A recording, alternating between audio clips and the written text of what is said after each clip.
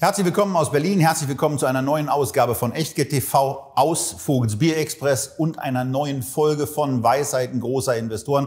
Heute wollen wir uns beschäftigen mit dem größten lebenden Investor, der unser gesamtes Investorenleben immer an unserer Seite war, über den wir immer etwas lesen konnten. Zugegebenermaßen muss man sagen, in den 90ern haben wir das wahrscheinlich noch relativ wenig gemacht, denn den, den Bekanntheitshype in Europa, der ging eigentlich erst Ende der 90er mit Artikeln von seiner Biografin Gisela Bauer hier in Deutschland auch los. Der Jahrhundertkapitalist hat das Buch, heißt das Buch. Wir wollen uns aber heute mit seinen Zitaten, seinen für uns wichtigsten Zitaten beschäftigen, bisschen darüber plaudern und das tue ich wie immer mit dir.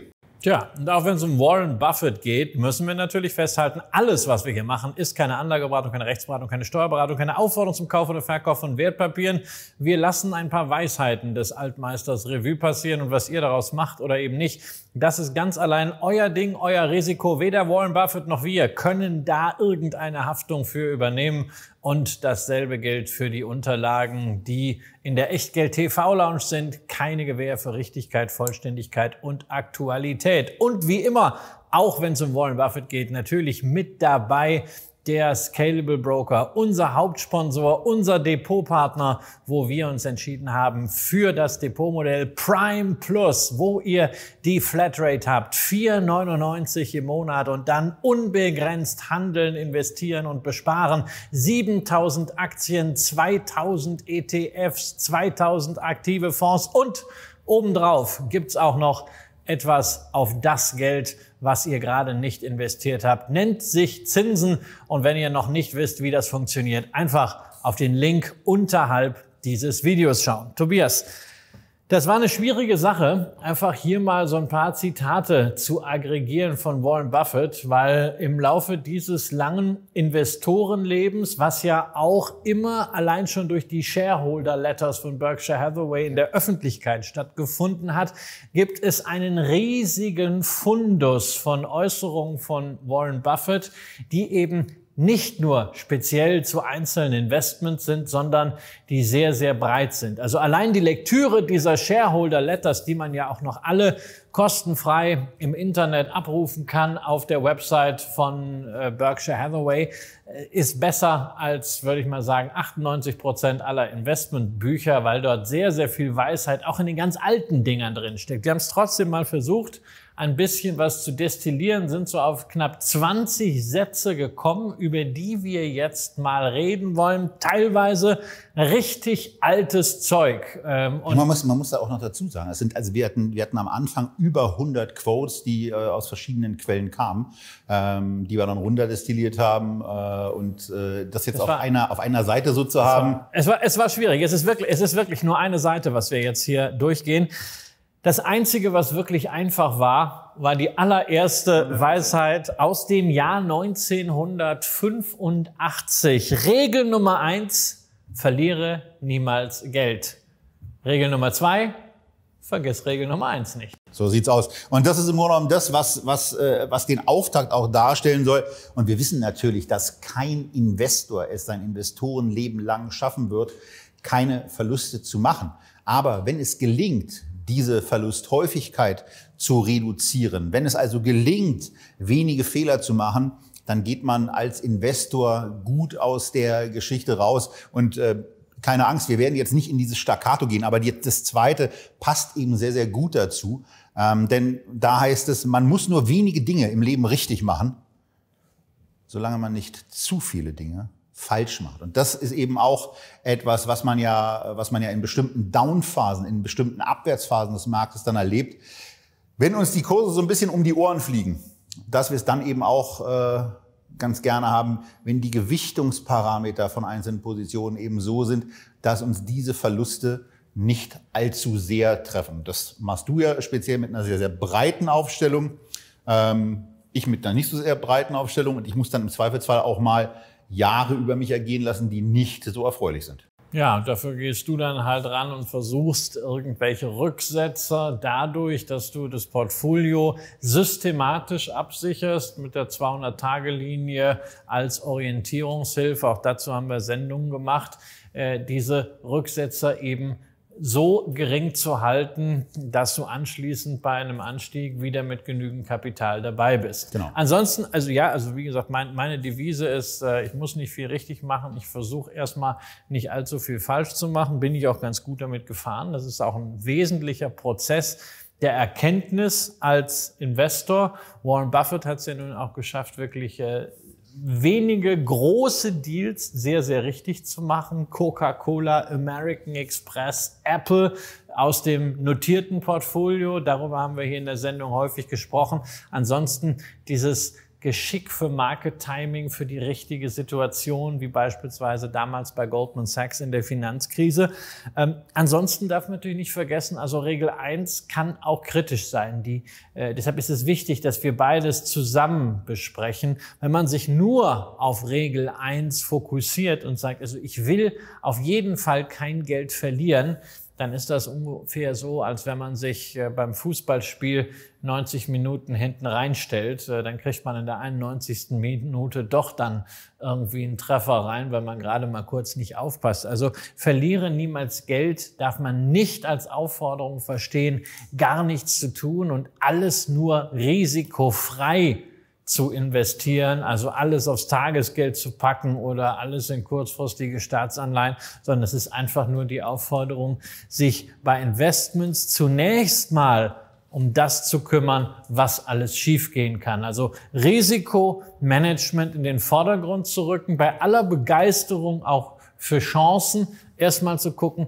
was kann denn eigentlich schiefgehen und wie bin ich positioniert, wenn es schief geht. Und da ist es halt wichtig, entweder eine klare Disziplin, wie man rausgeht, oder ein sehr limitiertes Risiko, weil man eben nicht so viel investiert, oder eben eine Zusammenballung von beidem.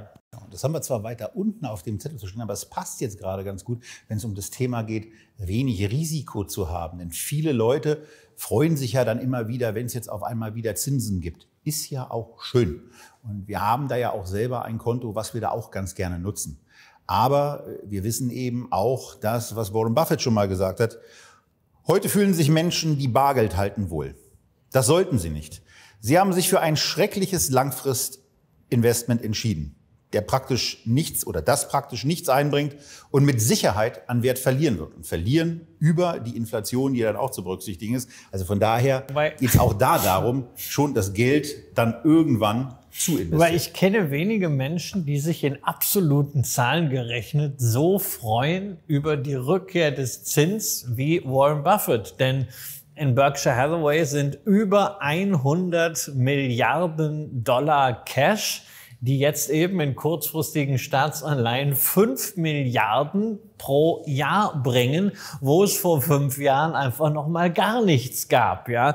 Und insofern, also, dass er hier so diese Cash is Trash Kerbe schlägt, die wir ja bei dem Video über Ray Dalio schon ausführlich diskutiert haben, das passt nicht so ganz, weil Warren Buffett hat eben immer schon diese Elefantenbüchse gehabt, genau. die im Laufe der Jahre immer größer geworden ist. Und das kann auch wirklich mal langfristiger Vermögenswert sein, weil wenn man bedenkt, also in der Finanzkrise, ja, 2008, 2009, da hat er mal was gemacht, aber ist natürlich jetzt auch schon fast 15 Jahre her. Und seitdem schleppt er einen relativ großen Liquiditätsbestand mit sich rum äh, und scheitert eigentlich dabei, wirklich nach seinen Maßstäben attraktive Ziele zu finden, um mal wirklich 30, 40, 50 Milliarden auszugeben. Er hat Occidental Petroleum gemacht, äh, er hat im Versicherungsbereich eine Übernahme gemacht, Allegheny, aber ansonsten so wahnsinnig viel ist da nicht rausgekommen. Das Ganze fing ja irgendwann mal damit an, dass er gesagt hat, er fühlt sich immer ganz wohl, wenn er 10 Milliarden Liquidität hat. Ich bin mir sicher, das würde euch auch so gehen. Äh, bei Buffett sind es im Moment eben 135. Wir hatten das ja in einer Sendung dann auch mal ein bisschen auseinanderdestilliert. Die Position des Aktienportfolios, wie groß ist die, wie groß ist die Liquiditätsposition, wie groß ist dann eigentlich der Wert auf Basis der Marktkapitalisierung der anderen Unternehmen, die er ja auch im Bestand hat äh, BNSF ist da mit dabei, diese, diese Eisenbahnlinie, wo er auch massiv Geld reingepackt hat, aber nie Gefahr. Aber auch das ist schon, aber auch das ist schon ein älteres 100 Ding. Und er ist nie Gefahr gelaufen, da an diese 10 Milliarden Grenze irgendwie mal ranzulaufen. Das letzte Mal, dass er wirklich intensiv Geld ausgegeben hat und auch an diese Linie ranlief, war, als die Finanzkrise war und als eben viele Finanzinstitutionen ähm, auch als Vertrauensbeweis dankbar das Geld abgenommen haben, in dem Wissen und in dem Bewusstsein, dass sie damit unter normalen Gesichtspunkten eigentlich einen schlechten Deal machen, aber sie eben auch gesagt haben, also weil die Zahlungsbedingungen für sie ähm, einfach relativ ungünstig waren, für Buffett sehr, sehr gut, ähm, aber dadurch, dass dieser Nimbus äh, des, des ja, bekanntesten, größten und auch erfolgreichsten Investors der Welt dann eben mit im Unternehmen mit drin war, hat man dann eben auch bei Goldman Sachs ähm, ganz merkwürdige äh, Dealbestandteile mit Vorzugsaktien, mit einer Garantiedividende akzeptiert. Das macht, das macht er ja immer. Das konnte man jetzt auch wieder sehen bei Occidental Petroleum. Da hat er damals die Übernahme finanziert, hat denen Geld gegeben, aber nicht indem er einfach Aktien gekauft hat, sondern indem er sogenannte Preferred Shares gekauft hat. Das übersetzt sich im Deutschen eben als Vorzugsaktien, hat aber nichts mit den Vorzugsaktien zu tun, die wir so kennen, sondern ist eher so eine Art Hybridkapital, also Kapital, was jetzt nicht wie eine Anleihe behandelt wird, aber Eigenkapital ersetzenden Charakter hat und aber bei Gewinnausschüttungen bevorzugt behandelt wird und unter bestimmten Bedingungen dann auch zurückgegeben werden kann mit sehr, sehr üppigen Zinsen, sehr, sehr üppigen Aufschlägen. Und er fängt jetzt gerade an, äh, dieses Hybridkapital, diese Preferred Shares bei Occidental langsam einzucashen. Und das ist auch ein schöner Deal. So viel hat er noch nicht eingecasht, aber man hat schon mal sehen können, in welche Richtung das geht. Das war richtig, richtig lukrativ. Aber wir wollen nicht vergessen, also die letzten 10, 15 Jahre hat er im Großen und Ganzen da gesessen, gewartet mit der Elefantenbüchse, aber so wahnsinnig viel ist nicht passiert. Natürlich, das, was er gemacht hat, nicht endkonsequent gemacht. Das muss man dann eben auch sagen. Also wir haben die, die, die größte Position von ihm ist bekanntermaßen die Apple. Aber ähm, wir hatten es, glaube ich, auch in früheren Sendungen des Öfteren mal. Und das ist ja immer noch ein Thema, wo ich, wo ich mich wirklich drüber eifern kann, weil er in CNBC-Interviews auch zu Zeiten noch sehr, sehr günstige Bewertungen extrem blumig, extrem freundlich über Apple und über das Apple-Investment besprochen hat und dass er gerne mehr Aktien hätte. Und er hatte die Liquidität, also auch um von mir ja. aus auch an 20 oder 30 Milliarden das Ganze runterzusizen, was er da an Bugwelle vor sich hergeschlagen hat. Die Position hätte, hätte Fahrradkette, er leicht verdoppeln können. Ähm, Aber vielleicht hätte er dann getan. irgendwie auch gesagt, es wird ein bisschen too much gemessen am Wert dieses Equity-Portfolios. Das wird ja von manchen äh, gerade auch in sozialen Medien immer rausgestellt, als wenn das der gesamte Wert von Berkshire Hathaway wäre und äh, Warren Buffett äh, jetzt so ein völlig verbimmelter Typ ist, der 50 Prozent seines Vermögens in Apple packt. In Wirklichkeit sind es nur knapp 50 Prozent in diesem Listed Equity Portfolio, aber wir verlangen ja nicht von jedem, der sich über Aktien äußert, dass man das auch Aber da habe ich natürlich gleich das nächste Ding für dich, weil hier gibt's ja auch, es gibt ja auch aus seinem Munde ja, es gibt ja auch aus seinem Munde etwas, wo du dann sagst, ja, Gewichtung war schon relativ hoch. Aber er sagt ja selber, er sagt ja selber, eine breite Streuung ist nur dann erforderlich, wenn die Anleger nicht verstehen, was sie tun. Er wusste genau, was er versteht. Er hatte mit der Position recht. Er hatte immense Liquidität. Er wusste, erkennt man nicht, was er damit machen soll. Und deswegen äh, ist es immer noch so ein Ding, wo ich sage, äh, da, da ist gut, dass er, dass er im Team mittlerweile ergänzt wird und auch andere, auch andere Perspektiven mal reingebracht werden und dadurch auch ja ein paar andere Investments mittlerweile entstanden sind. So, also eine breite Streuung ist also erforderlich, wenn man nicht weiß, was man tut. Das finde ich natürlich gegen Diversifikation gerichtet ein bisschen extrem. Insbesondere, wenn man sich dann mal Berkshire Hathaway anschaut. Warum hat er nicht dann schon gerade in dem Portfolio der Holly Owned Subsidiaries längst mal mit dem Kehrbesen durchgewischt? Denn da sind ja eine ganze Menge an Beteiligungen drin, die jetzt auch für sich genommen nicht immer so diesen wahnsinnigen wirtschaftlichen Impact auf auf das Gesamtergebnis haben. Hat er die jetzt noch aus Zeiten dabei, als es irgendwie so nostalgisch war, die schleppt er jetzt durch, die sind halt nicht so mitgewachsen mit dem Gesamtunternehmen, äh, aber er könnte sie ja dann aber auch ja rauspacken. Er, divers er, er diversifiziert ja selber. Er hat ein paar Leuchttürme, das ist ja auch gewachsen, das Versicherungsgeschäft, das ist Apple, wobei das auch durch Performance-Effekte halt erst zu einem solchen Leuchtturm ja? geworden ist. Er hat äh, die Eisenbahnlinie BNSF Und er hat äh, darüber hinaus noch dieses ganze Energiegeschäft äh, von Berkshire Hathaway, was einer der größten Investoren in erneuerbare Energien weltweit übrigens inzwischen äh, sogar ist.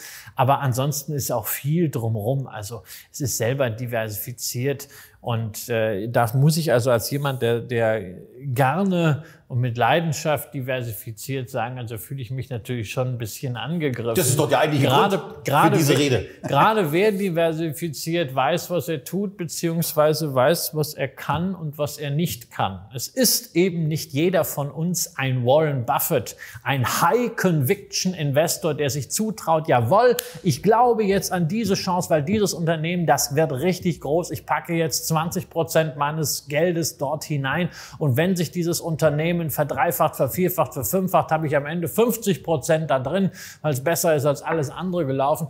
Ähm, das traut sich eben nicht jeder zu. Und es ist ein wesentlicher Erkenntnisprozess für einen Investor, dass er weiß, was kann er leisten und was traut er sich nicht zu. Der eine macht High Conviction und kann das gut, der andere fährt einfach besser damit, wenn er, um mal in der Tennisdiktion zu bleiben, einfach simples Grundlinienspiel macht, um eben möglichst viele Fehler zu vermeiden. Äh, das eine und das andere muss nicht schlecht sein. Und Warren Buffett gibt ja auch dann den Tipp an denjenigen, der nicht so wirklich den High Conviction Investor rauslassen will, für die meisten ist der S&P 500 eben nach seiner Meinung als reines Indexinvestment sowieso das Nonplusultra. Ja, vor allen Dingen dann mit dem Nachsatz noch, also nicht nur, dass er sagt, äh, meiner Meinung nach ist es für die meisten Menschen am besten, den S&P 500 zu kaufen, äh, sondern auch noch dieser Nachsatz, Leute bezahlen unglaubliche Summen für Beratung, die sie nicht wirklich brauchen. Also ähm, wo man es wo einfach auch so lassen kann, in dem Moment, wo du in der Tat dann ein diversifiziertes Portfolio hast oder eine Position, ähm, wo eben auch mit diesem, mit diesem Fortsetzungsgedanken, der ja Berkshire innewohnt, äh, auch eine Fortführungsperspektive für dein, für dein Vermögen hast, dass es da eben einfach äh, einfacher ist, in solche Werte zu investieren und dann dabei zu bleiben und dann auch zu sagen, äh, dann braucht man sich über die ganzen, über die ganzen heißen Tipps ähm, eben nicht länger Gedanken zu machen. Genau, und ich kann mir auch den S&P 500 vorstellen als das amerikanische Unternehmen schlechthin. Wie ein einzelner breit diversifizierter Industriekonzern. So kann ich es mir auch vorstellen. Äh, ich kann auch sagen, okay, der MSCI World ist einfach das größte und kompletteste Unternehmen der Welt, in dem halt einfach eine ganze Reihe von Sparten drinstecken. Und damit habe ich eigentlich schon eine gute Basisdiversifikation. Dann kann ich gucken, was packe ich noch so da drumrum. Aber vor allen Dingen habe ich halt eines an der Stelle sichergestellt. Ich habe wenig Kosten. Ich kann kosteneffizient investieren. Und das ist ja auch das, was man mit Warren Buffett seit den 60er Jahren immer konnte. Warren Buffett hat ein sehr bescheidenes Gehalt und er verdient eben daran, dass er Werte schafft für Aktionäre und er ist selbst eben der größte davon. Wenn Warren Buffett arbeiten würde wie ein Hedgefondsmanager, der aus der Berkshire Hathaway zwei Prozent zieht und 20 Prozent Performance Fee, dann wäre die Performance natürlich um einiges schlechter. Äh, seine Performance mal ausgenommen. Seine Vermögensperformance mal ausgenommen. Genau, aber die, die Performance seiner Anleger. Und äh, insofern, also die, diese Beratung, die er da anspricht, die braucht man nicht. Und er hat es in einigen Shareholder-Letters ja auch ganz schön äh, am Beispiel von vermögenden Investoren gezeigt, die immer glauben, weil sie es ansonsten auch so erleben, wenn man möglichst viel für eine Dienstleistung zahlt, steigt die Wahrscheinlichkeit, dass diese Dienstleistung äh, sehr gut ist. Also wenn es irgendwelche Betreuung ist, irgendwelches Training ist, wenn es First-Class-Hotels sind. Und das sind ja viele, gerade auch vermögende Anleger, Privat-Banking-Kunden, äh, High-Net-Individuals sind das gewöhnt, überall. Sie zahlen mehr, also kriegen sie eine Vorzugsbehandlung. Das Problem ist einfach, in der Geldanlage funktioniert das nicht unbedingt, sondern sehr häufig sind diese ganzen margengeladenen Produkte nach Kosten eben eben nicht besser als ein simples ETF-Portfolio oder ein simples Einzelaktienportfolio, was quasi so eine Art persönlicher Index ist.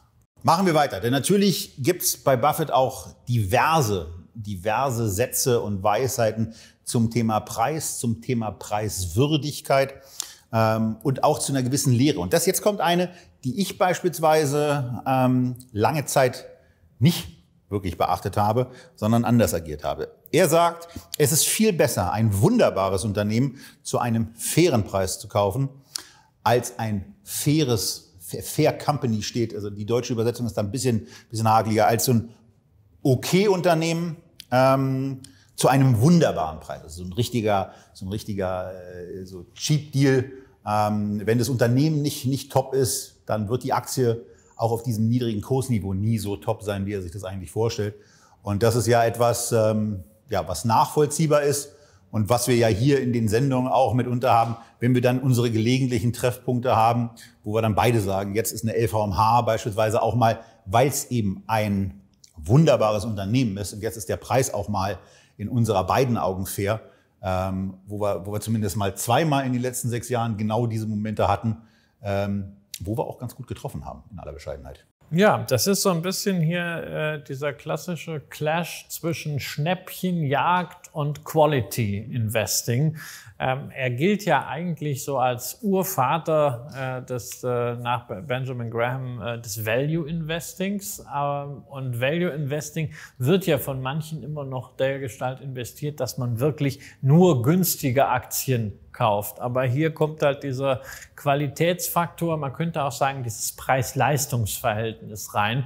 Und es gibt ja in den USA auch eine ganze Community, die sich dann äh, GARP Investing nennt, Growth at a Reasonable Price. Also Wachstum, ja, wichtiges Thema, aber zu einem vernünftigen Preis. Und Buffett ist ja eigentlich in den letzten, würde ich mal sagen, 20 Jahren aus dieser extremen Value-Schnäppchenschiene dorthin gekommen, dass er gesagt hat, also super Unternehmen muss es äh, auf jeden Fall sein und äh, super Preis ist toll, aber wenn der Preis nicht super ist, sondern nur fair ist, ist das besser, äh, als wenn ich irgendwie versuche, den mega Schnäppchendeal zu machen. Und das ist ja auch dann eigentlich äh, Apple wieder ein Beispiel dafür.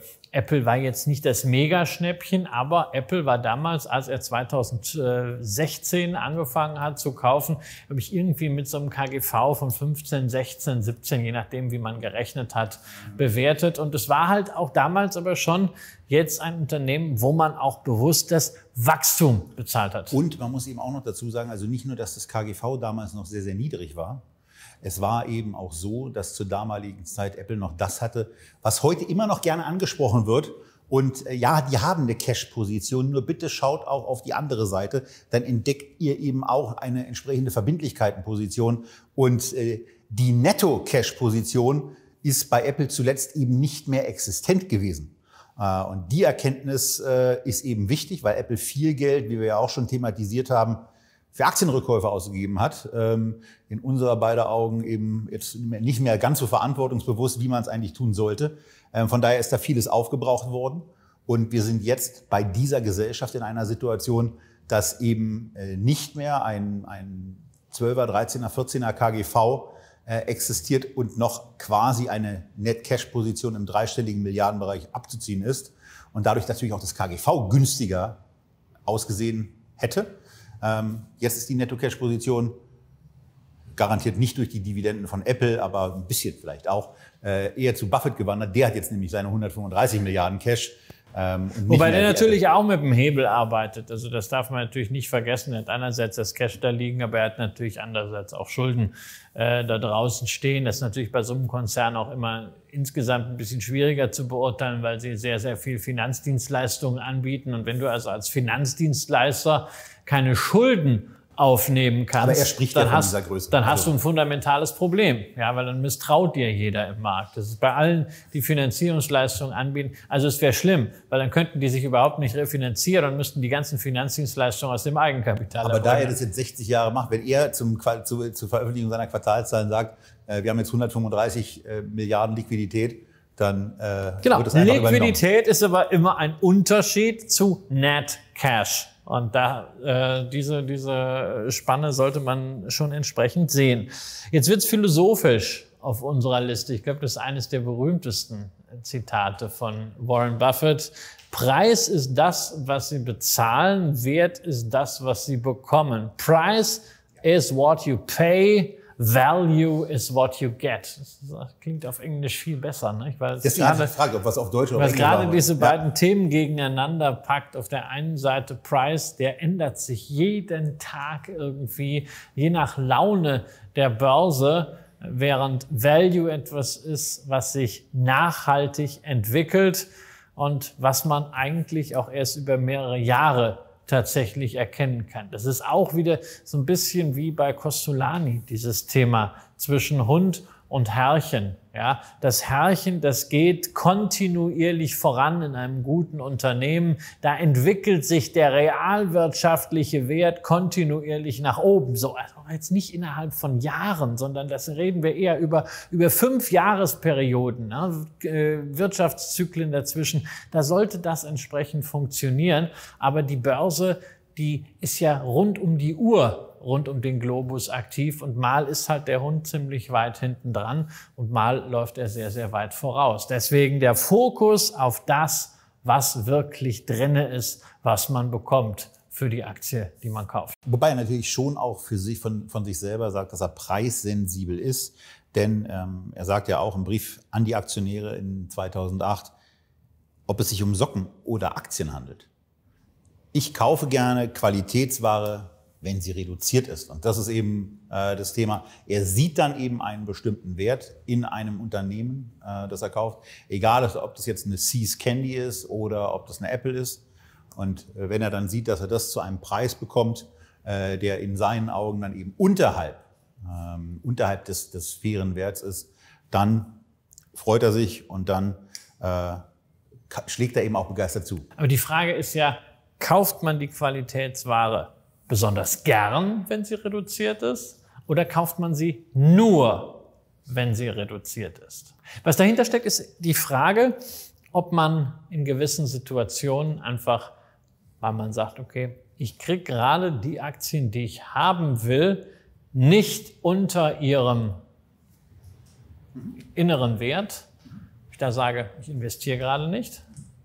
Oder ob ich sage, okay, ich kaufe immer noch zu einem zu einem ordentlichen Wert, beziehungsweise langfristig kann ich das vertreten. Na, da ist mein Eindruck, dass er das nicht tut. Also deswegen, also deswegen, das ist ja auch das, was er, was er immer noch auf der HV auch sagt, nach dem Motto, dass er diese Gelegenheiten nicht findet. Und das ist ja das auch der Grund, warum er diese 105, 130 Milliarden äh, Liquiditätsposition hat äh, und eben sich im Grunde genommen auch freut, dass er in bestimmte Bereiche eben immer weiter rein investieren kann. Denn äh, beim Thema Energie, da da kann er noch sehr, sehr viel machen. Und äh, wenn, äh, wenn die Unternehmen dann in der Lage sind, eben noch größere Felder, noch mehr Flächen in den USA mit Windrädern, mit, mit Solaranlagen voll zu machen, dann kommen wieder mal zum Thema Wasseraufbereitung, was wir ja auch schon ein paar Mal hatten. Ähm, dann sind es eben Themen, wo sehr, sehr viel Geld benötigt werden wird und wo sich dann eben auch sehr, sehr sichere und eben über der Verzinsung amerikanischer Staatsanleihen liegende Verzinsungen realisieren lassen werden. Ja, wie er das sagt. Etwa alle zehn Jahre ziehen dunkle Wolken am Wirtschaftshimmel auf und sie werden kurzzeitig Gold regnen lassen. War natürlich die Finanzkrise damals 2008, 2009 das beste Beispiel. Wir haben darüber gesprochen, wie er sich bei den Banken damals positioniert hat. Aber seitdem gab es ja eine ganze Reihe von kurzfristigen Drawdowns und äh, es gab zumindest nicht diese großartigen Gelegenheiten für Warren Buffett. Also im Corona-Crash hat er nicht beherzt zugegriffen. Ich glaube, er hat darauf gewartet, dass Unternehmen ihn zu Hilfe rufen, aber die Unternehmen brauchten ihn nicht, weil die Staaten ja sowieso alles glaube, mit, Geld, mit Geld, zugekleistert genau. haben. Auch letztes Jahr, als wir dramatische Rückgänge teilweise gesehen haben, gut, sie waren vorzugsweise in Hightech-Werten, wo er sowieso ein bisschen äh, vorsichtiger ist. Aber auch bei Standardwerten hätte es im letzten Jahr ja auch Möglichkeiten gegeben. Der S&P 500 war im Bärenmarktterrain, aber auch da ist er jetzt nicht groß eingestiegen. Ähm, hat das noch nicht gereicht? Hat er, du hast ihn ja viel intensiver studiert, auch als, als Fanboy, als regelmäßiger Omaha-Gast. Hat ihm der Rückgang noch nicht gereicht? Ist er negativ oder ist er vielleicht auch irgendwie ein bisschen satt? Wobei, da fragt man sich natürlich, er hat ja auch ein Team inzwischen drumherum. Warum hat er diese Chancen nicht stärker genutzt? Also ich glaube in der Tat, dass er in 2020 damit, nicht damit gerechnet hat, wie stark sich in kürzester Zeit der Staat exponiert. also 2020 ist okay. Warum nicht mehr in 2022? Weil eben da die Preise noch, die Preisabschläge noch nicht gereicht haben. Weil er da ja, in, in, du hast 22 gefragt, ne? Ja. Ja, weil, weil da, dadurch, dass die, also er ist ja sehr, sehr schnell bei Mathe. Ähm, und während andere Anleger erstmal noch erkennen mussten, dass die Zinsen wirklich gestiegen sind, hatte er das schon voll für sich drin. Und in dem Moment, wo die Zinsen eben nicht mehr bei anderthalb oder zwei Prozent sind, sondern bei vier, viereinhalb oder fünf Prozent, nehmen wir mal die vier Prozent, weil es bei amerikanischen Langfristanleihen eher der Wert war, der erreicht wurde, äh, da rechnet er dann eben anders. Und da waren ihm die Preise nicht attraktiv genug. Okay, also es war noch nicht die Situation, wo die Angst da war, wo man dann nach seinem Zitat gierig sein soll. Genau. Ähm, und äh, gleichzeitig haben wir aber auch gesehen, die Situation, dass er selbst ängstlich war, weil andere zu gierig waren, dass er also aktiv Bestände in größerem Umfang verkauft hätte. Das haben wir so auch nicht gesehen, also insbesondere nicht 2021. Genau. Und bevor wir jetzt weiter über dieses Zitat reden, einmal, einmal ganz klar gesagt, eine einfache Regel diktiert meine Käufe. Sei ängstlich, wenn andere gierig sind und sei gierig, wenn andere ängstlich sind. Und in der Tat, also das, äh, dieses 2020, das war dann für mich auch relativ beruhigend, weil also ich war auch nicht so, also ich war, war da, sah da auch so, saß da auch so ein bisschen gefühlt wie so ein Kaninchen vor der Schlange und wusste nicht, was mache ich jetzt. Ich war abgesichert, aber habe mich dann auch in der Situation, als die Märkte so brutal abgestraft waren, als der DAX dann kurzzeitig unter 10 und dann 9000 Punkten notiert hat, habe ich mich auch nicht getraut, einfach mal beherzt zuzugreifen. Im Gegensatz zu ganz vielen Privatanlegern, die es vorhatten, aber zu diesem Zeitpunkt nicht geschafft haben, weil die Discount-Broker alle und auch Banken nicht hinterherkamen, die Konten so schnell zu eröffnen, die Legitimationsprüfung so schnell durchzuführen. Äh, wir haben das ja unter anderem auch mal mit, mit Scalable besprochen, aber das hat alle, das hat alle Institute zu dieser Zeit betroffen, dass sie von Kontoeröffnungswünschen überrannt wurden und dieser Sache erstmal Herr werden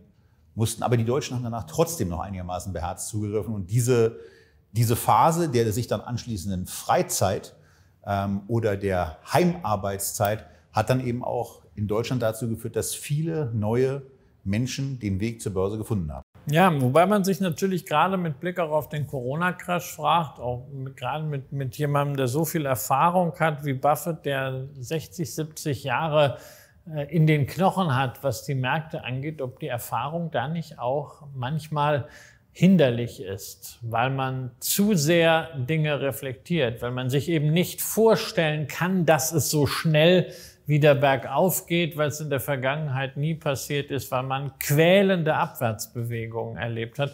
Äh, vielleicht hat ihm das da, ähnlich wie er auch äh, uns, auch einen Streich gespielt. Und äh, da er ist hat ja es das, er hat es ja mal bei, bei dieser Lecture, die es ja quasi war, das müsste die, Moment, wir haben jetzt 23, da war ich da, 22 war ich da, 21, dann war es, die müsste es die HV 20 gewesen sein, als er diese, als er diese größere ähm, äh, Amerika-Lecture quasi gegeben hat, wo er nochmal durch die Geschichte gegangen ist, wo er insbesondere auch durch sein Leben gegangen ist. Das wirkte ja schon ähm, ein bisschen, hat er schon ein bisschen nach Abschiedsvorstellungen gewirkt, als er das nacherzählt hat, als er geboren wurde, wie tief dann der Markt kurzfristig auch gefallen ist. Und er hat ja zumindest in seiner Lebenszeit und auch dann durch Erzählungen äh, von seinem Vater und dann eben auch eigenes Nachlesen mitbekommen, wie lange so eine Phase äh, der wirtschaftlichen Stagnation auch, auch laufen kann. Und dann muss eben, äh, da musste eben erstmal ein Präsident in Person von Roosevelt daherkommen, der dann gesagt hat, okay, jetzt machen wir alles anders, jetzt gibt's äh, eine neue Vereinbarung und einen New Deal ähm, zwischen, zwischen uns und dem amerikanischen Volk und wir werden jetzt dafür sorgen, dass wir dieses Land wieder flott machen. Und ähm, es hat danach aber trotzdem eine ganze Weile gedauert, bis die alten Kurse äh, wieder erreicht wurden. Das Vielleicht steckt auch das da. Das steckt, irgend, das steckt irgendwie in den Knochen und bei uns steckt natürlich die Finanzkrise in den Knochen, ja. Und es kann ja dann auch schnell sein, muss man ja auch sagen, bei den ganzen Unternehmen kann es ja auch mal schnell zu sehr, sehr vielfältigem Kapitalbedarf kommen. Also gar nicht auf die Versicherung angesprochen. Aber dass dann Unternehmen einfach sagen, so, uns fehlt mal hier eine Milliarde, uns fehlen hier mal 100, 200 Millionen. Und dann geht's eben immer. Ähm, und dann sind selbst 110 Milliarden schnell weg, meinst du? Na, also da habe ich. Das äh, schnell da weg nicht, Zweifel. aber. Also da ist, äh, dafür haben sie, glaube ich, auch eine ganz gute Kontrolle. Aber du hast Amerika angesprochen. Deswegen muss ich dich natürlich sofort da mal äh, angehen, weil ich weiß, das ist so ein Satz, der dich immer irgendwie triggert. Buffett hat in den verschiedensten Ausprägungen in den letzten Jahren formuliert, sowohl schriftlich als auch im Shareholder-Treffen. Ich sage mal ganz einfach, don't bet against America. Und das ist, auch wenn man deinen Twitter-Account verfolgt, ich glaube, du hast den Hashtag Reconsider USA. Ähm, das passt ja so gar nicht zu deiner Weltsicht, oder? Äh, don't bet against? Ja. Nö, ich finde nicht, dass man gegen Amerika wetten muss. Das finde ich nicht. Also da würde ich ihm auch nicht widersprechen. Aber mir geht's ja äh, dann häufig auch um diese sehr, sehr hohe US-Gewichtung im, ähm, im MSCI World. Ich kenne natürlich auch dein Gegenargument inzwischen sehr, sehr gut und finde es auch, äh, finde, dass, dass es auch eine, eine ja eigentlich ein hervorragender Widerspruch dazu ist, wenn du dann beispielsweise sagst, naja, aber eine Apple ist ja eigentlich kein amerikanisches, sondern eigentlich ein Weltunternehmen, weil sie ja keine Ahnung, wie viel Prozent, wahrscheinlich 60, 70 Prozent außerhalb der USA machen. Ähm, das, sind, das, ist eine, das ist ein interessantes Widerwort an der Stelle. Äh, nur man muss eben dann, glaube ich, auch sehen, wo sind dann Gelder im Aktienmarkt äh, investiert. Und aus, aus meiner Position äh, ist es da eben so, dass ich sage, wenn ich, wenn ich 70 Prozent in einem Markt auch deswegen drin habe im Übrigen, weil er ja in den letzten Jahren immer sehr, sehr gut gelaufen ist, dann gilt eben auch das Gleiche. Nur weil es in den letzten Jahren immer sehr, sehr gut gelaufen ist, weil wir in den, in den amerikanischen Indizes die berühmte Multiple Expansion äh, auch gesehen haben, heißt es nicht, dass andere, dass andere regionale Räume äh, nicht auch mal eine, eine Zeit der, der Blüte haben können und auch der Börsenblüte haben können, wo dann die USA mal ein bisschen herlanden. Deswegen geht's War mir immer bei, mal so.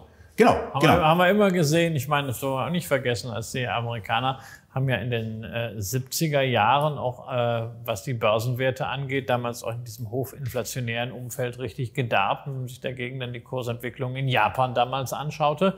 Äh, da konnte man mit internationaler Diversifikation eine Menge erreichen, so wie dann auch in den 90er Jahren man in den USA sein musste und äh, besser eben nicht in Japan investiert war. Und in den Nullerjahren sind die USA insbesondere aus unserer Perspektive ja auch nicht so großartig gelaufen, sondern da musste man zumindest bis zur Finanzkrise in europäischen Aktien investiert sein, die quasi dann die EU-Erweiterungsdividende kassiert haben und eine fulminante Outperformance hatten. Also ich finde noch immer dieses, dieses Don't bet against America, das ist einfach so dieses, dieses Versprechen, dass Amerika die freie Welt ist, auch der Motor der freien Welt für Innovation und Fortschritt. Und gerade wenn man also die längeren Passagen liest, in denen Buffett das herleitet, äh, das ist nicht nur triefender Patriotismus, sondern da steckt, eine, da steckt eine ganze Menge drin, weil eben Unternehmen in Amerika einen großen Vorteil haben. Sie haben einen homogenen Heimatmarkt mit über 300 Millionen Konsumenten, der darüber hinaus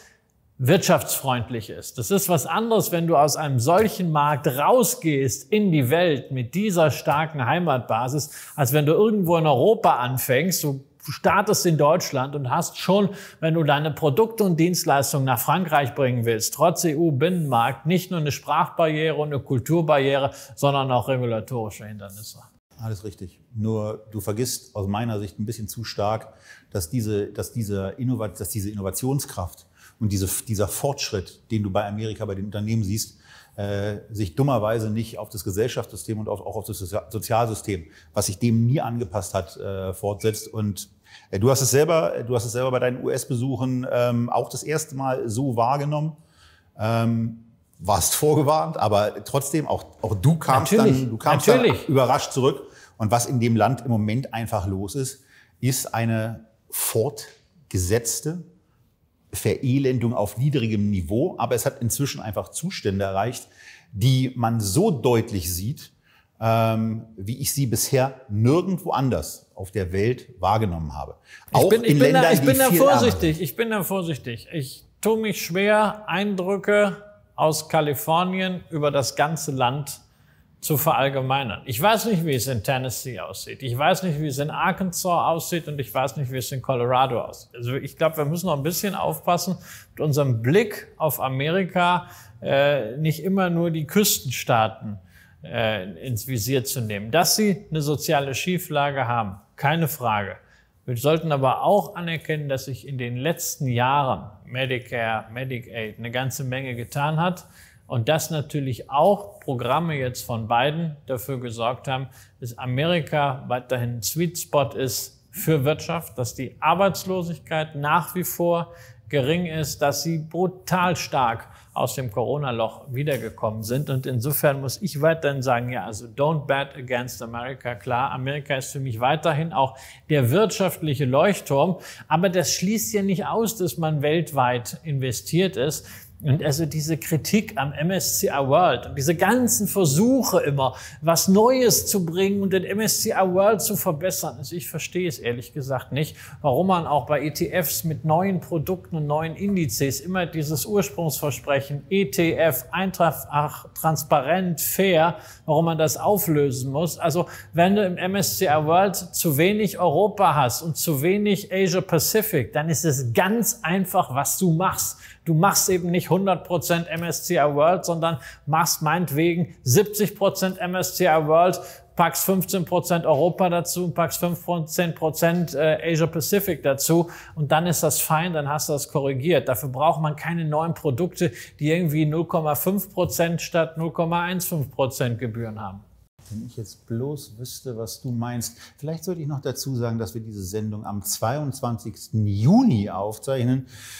Ich glaube, gestern oder vorgestern ist ein neuer ETF rausgekommen. Ich komme nicht auf den Namen, ist auch nicht so wichtig, weil wir reden ja über Warren Buffett. Und egal über wen aus Deutschland wir reden, ähm, dass er in diese Sendung als jemand kommt, über den wir Weisheiten wiedergeben, da würde mir jetzt aus, den, aus dem Status der Lebenden ähm, eigentlich äh, niemand, niemand einfallen. Ähm, und von daher ist vielleicht ganz gut, wenn wir einfach weitermachen. Genau. Also zum Beispiel mit einem Thema, was Warren Buffett ja auch immer wieder sehr ähm, umtreibt, äh, dass Börse eine tägliche Aktualität hat, dass wir täglich sehen, was denn der Preis ist, der um unsere Investments gehängt wird, aber dass das alles doch so stark ablenkt von der realwirtschaftlichen Substanz, von dem, was er Wert nennt.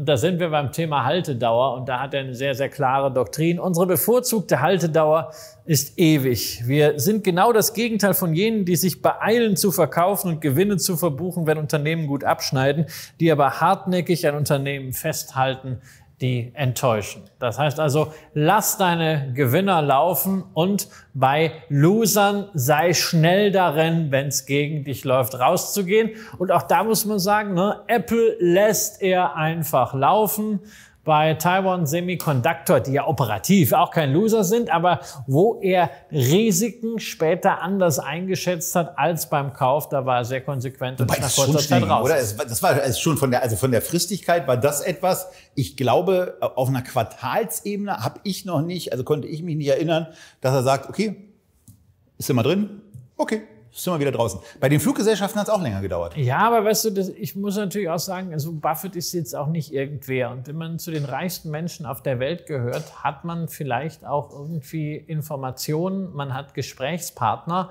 die geeignet sind, in einem einzigen Gespräch oder durch wenige Informationen eine Entscheidung, die man mal getroffen hat, zu drehen, weil man einfach neue Bewertungen bekommt. Vielleicht hat er einfach bei Henry Kissinger vorher angerufen. Genau, vor an, den, genau an den dachte ich äh, witzigerweise. Also zumindest an diese Liga. Und äh, es ist ja dann zumindest konsequent, dass er auch da gesagt hat, also mh, hm, mit der Entscheidung habe ich mich einfach drei Monate später nicht mehr wohlgefühlt.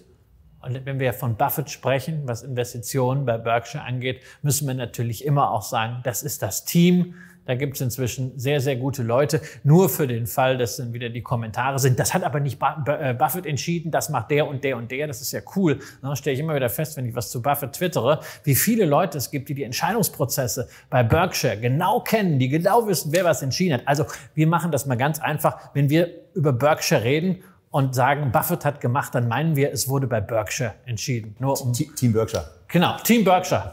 Ja. Erfolgreiches Investieren braucht Zeit, Disziplin und Geduld.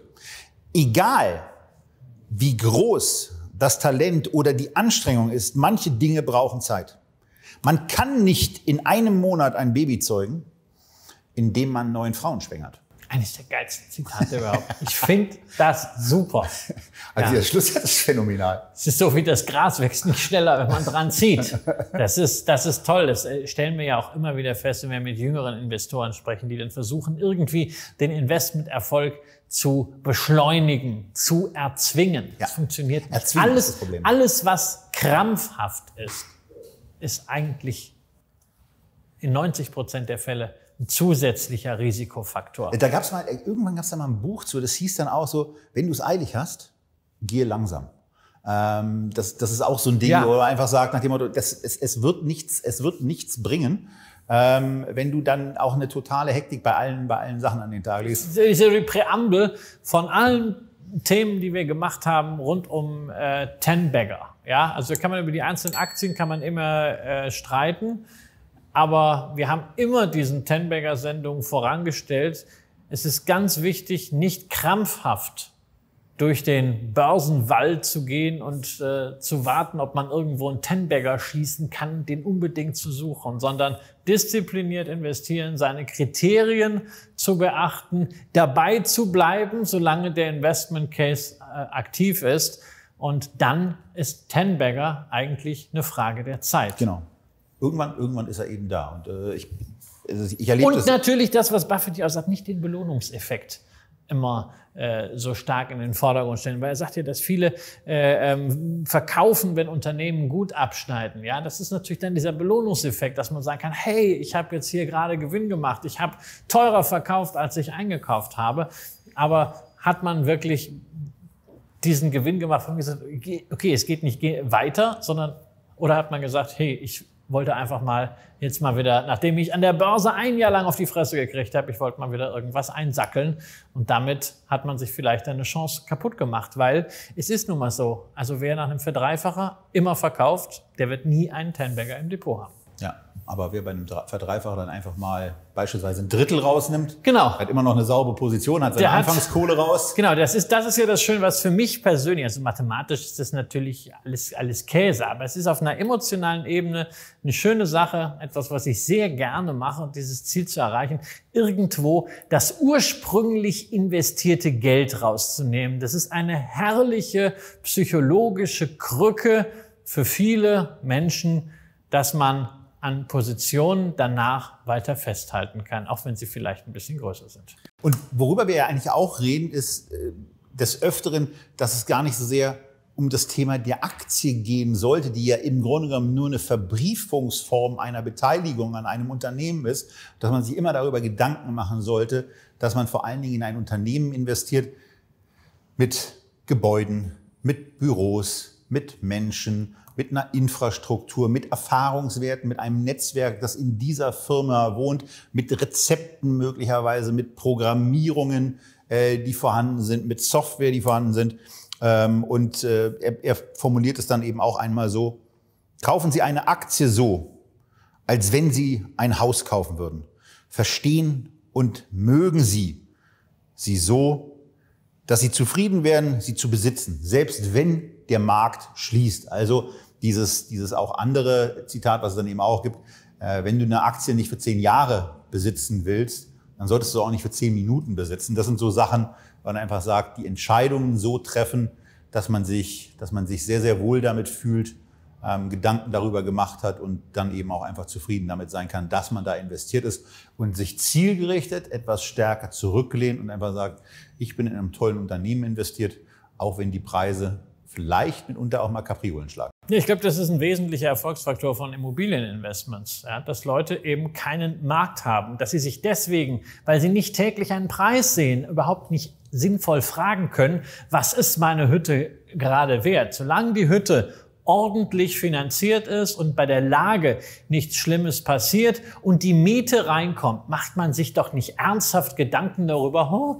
ist sie heute vielleicht 10.000 Euro weniger wert? Ja, es könnte durchaus sein, aber es spielt überhaupt keine Rolle. Auch bei Private Equity, ja, nicht börsennotierte Unternehmensbeteiligung, ist das für mich eine der wesentlichen Erfolgsfaktoren, dass Leute nicht ständig mit der Frage konfrontiert sind, was ist das jetzt wert? Was ja gar nicht die Frage ist, sondern welcher Preis hängt gerade dran und äh, müsste ich nicht vielleicht zu diesem Preis verkaufen, weil der Preis morgen noch schneller ist. Es äh, ist äh, wesentlich einfach für diese Entspanntheit, dass man auch für Private Equity keinen Preis sieht.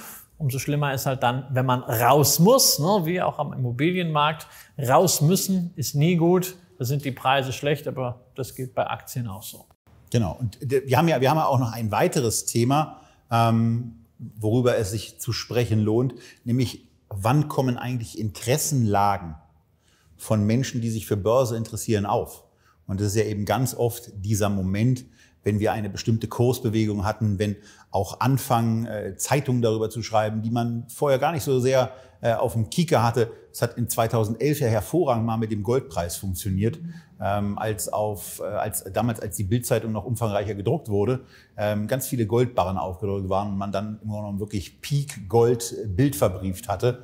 Ähm, aber das ist ein Thema, was wir ja auch nochmal haben. Ja, natürlich. Die meisten Menschen interessieren sich eben für Aktien, wenn es alle anderen tun. Der richtige Zeitpunkt, sich für Aktien zu interessieren, ist dann, wenn es sonst niemand tut. Also sehe ich natürlich nicht so. Ja, auch schade Richt, für uns, weil richtige, ja keiner mehr Echtgeld TV richtige, Brei, richtige Zeitpunkt, sich für Aktien zu interessieren, ist jederzeit. Es gibt vielleicht Phasen, wo man ein bisschen mehr besonders Incentive hat zu kaufen und Phasen, wo man auch einfach mal die Füße stillhalten kann. Es ist eine Phase, äh, wo man vielleicht auch eher mal Leute motivieren muss. Und dann gibt es Phasen, wo man eher mal ein bisschen auf die Euphoriebremse treten muss. Aber also insofern muss ich sagen, also du wolltest dieses Zitat drin haben, aber ich weiß nicht, ich finde, ja, das prozyklische Handeln ist, ist natürlich immer ein Thema, kann man ja auch ausnutzen, siehe Momentum. Aber eigentlich sollte Aktien sollte Vermögensbildung, Vermögensverwaltung, Partizipation an wirtschaftlichem Fortschritt, an Wohlstand, an Innovation ein Dauerthema sein. Ja, ja, so ich glaube, ich glaube, das sind so einzelne Aussagen, die, wenn sie, wenn sie ganz isoliert betrachtet werden, natürlich auch nie Anwendung finden würden. Also ich meine, das haben wir hier bei fast allen Punkten, ähm, äh, dass er ja auch, äh, also man kann, man kann ganz viele Sachen eben auch in die eine oder in die andere Richtung interpretieren. Man kann mit einzelnen Zitaten ja auch seinen eigenen Zitaten äh, dann, dann widersprechen, also vor dem Hintergrund. Das ist bei Buffett sowieso total schön. Ja, also Buffett mag keine Dividenden zahlen. Ja, er erklärt immer, wie toll das ist, Aktien zurückzukaufen. Aber er ist, glaube ich, einer der zehn größten Dividendenkassierer weltweit gemeinsam mit einigen Staatsfonds. Herr Berkshire hat, glaube ich, einmal eine Dividende gezahlt. Es gab irgendwann einen, einen Termin, wo er, wo er Geld drin hatte, wo er dann eine Dividende gezahlt hat und dann aber auch gesagt hat, nee, das, das machen wir ab jetzt anders. Ich, ich, ich behalte das Geld lieber drin, ich, ich kann das besser. Ja, aber was Buffett uns auch noch mit auf den Weg gibt, und damit gehen wir schon fast zum Ende, sind einige Themen, die jetzt gar nicht so wahnsinnig viel mit Börse zu tun haben. Das sind so allgemein gute Ratschläge. Beispielsweise 2019 auf CNBC hat er, sich, äh, hat er nochmal gesagt, mit einem schlechten Menschen kann man kein gutes Geschäft machen. Also allgemeine äh, Kaufmannsregel, die natürlich für Aktionäre auch relativ gut zu befolgen ist, wenn man sich einfach immer anschaut, mit wem investiert man eigentlich da? Wer ist bei der Firma, für die man sich interessiert, eigentlich sonst noch so Aktionär, vor allen Dingen eben großer Aktionär? Wer hat was zu sagen? Da sind wir zum Beispiel bei Staaten, mit denen man vielleicht nicht gerne Co-Investor ist oder gerade so auch im Nebenwertebereich. Da gibt es einfach gewisse Namen, wenn die irgendwo im Aktionariat drin sind, da ist das für mich einfach so eine rote Flagge. Ah, das riecht nach Ärger. Genau, das, das hast du einfach bei manchen, da weißt du, okay, der war in der Vergangenheit bei 20 Firmen äh, engagiert und hat am Ende immer viel Geld damit gemacht, aber die restlichen Aktionäre nicht. Dann bist du da natürlich einfach mal vorsichtig. Und das ist natürlich eine unbedingte Aufforderung, sich immer anzuschauen, mit wem macht man hier Geschäfte. Ja, und wie kann man sich dann eben auch darauf verlassen? Und durch genau so eine Geschichte kam er ja damals zu Berkshire. Ne, das muss man ja, das muss man ja auch immer mal wieder in Erinnerung rufen, dass er sich, als er die Aktie gekauft hatte, mit jemandem schon handelseinig war, ähm, sie ihm wieder zu verkaufen für damals 11,50 Dollar.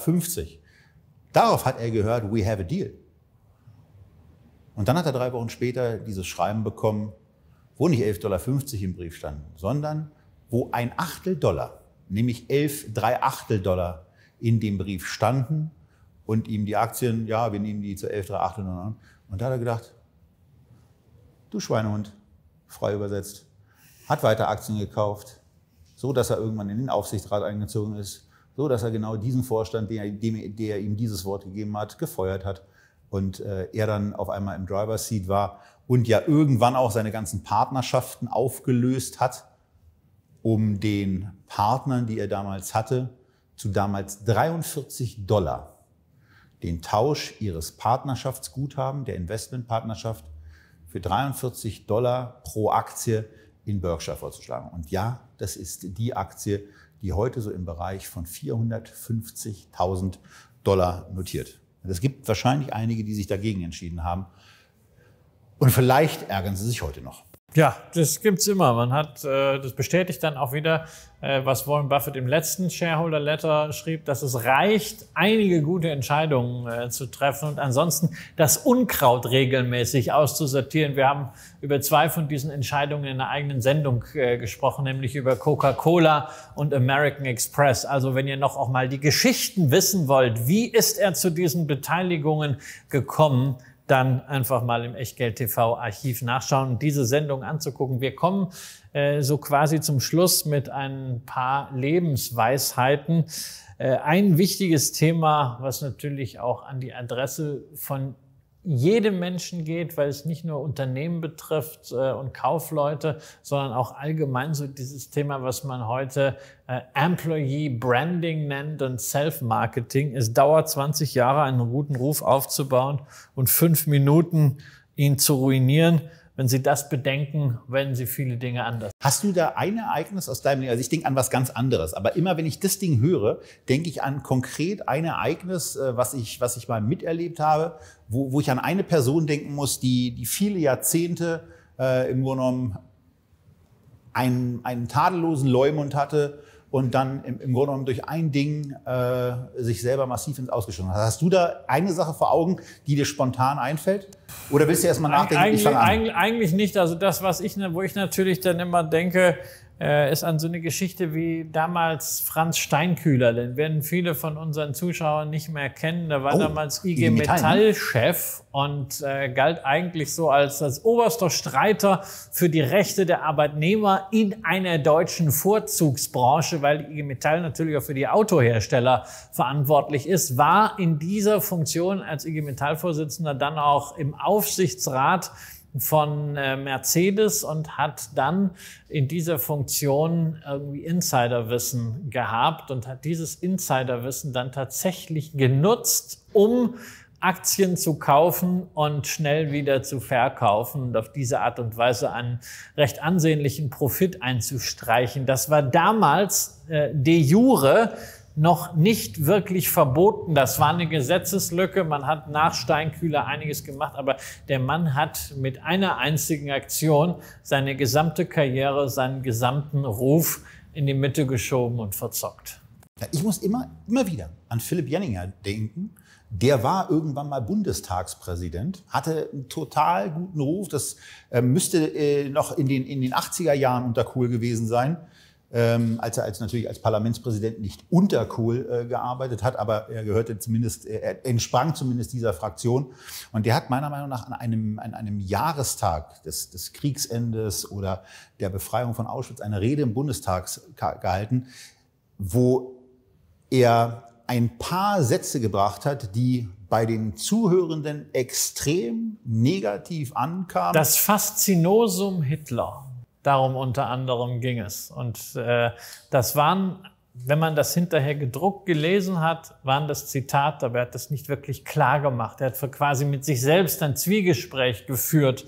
Es war also nicht einmal so, dass er was unüberlegt rausgeplaudert hatte, sondern er hat einfach eine Kunstform nicht richtig dargestellt. Und das hat einfach gereicht, um ihn aus dem Job und damit auch komplett aus dem politischen Leben zu entfernen. Ja, also von daher, man kann, es kann eben einfach, ähm, es kann eben manchmal einfach sehr, sehr schnell gehen wenn man da, wenn man da nicht aufpasst. Ja, und dann haben wir ganz zum Schluss One for the Road, der eigentlich so gar nichts mit Börse zu tun hat. Aber wir hatten das ja schon bei Costolani, so am Ende so eine Lebensweisheit. Und das ist natürlich auch schön, so eine Lebensweisheit von jemandem zu hören, der wirklich das mit dem Altwerden ganz gut schon hingekriegt hat. Stellen Sie sich vor, Sie hätten ein Auto. Das wäre das einzige Auto, das Sie Ihr ganzes Leben lang besitzen würden. Natürlich würden Sie es gut pflegen, das Öl öfter als nötig wechseln, vorsichtig fahren und so weiter. Und bedenken Sie nun, dass Sie nur einen Geist und einen Körper haben.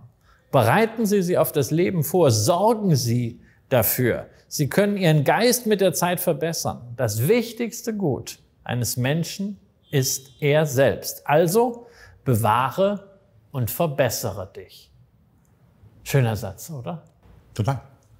Also Total. bei Buffett frage ich mich natürlich auch, hat er das immer so beherzigt? Also was den Geist angeht, sicherlich dieses Trainieren. Aber also wenn man jetzt mal so liest, wie der sich ernährt, ja, also Burger, Cherry er hat eine Coke, sehr, sehr, er hat eine sehr, sehr klare Diät.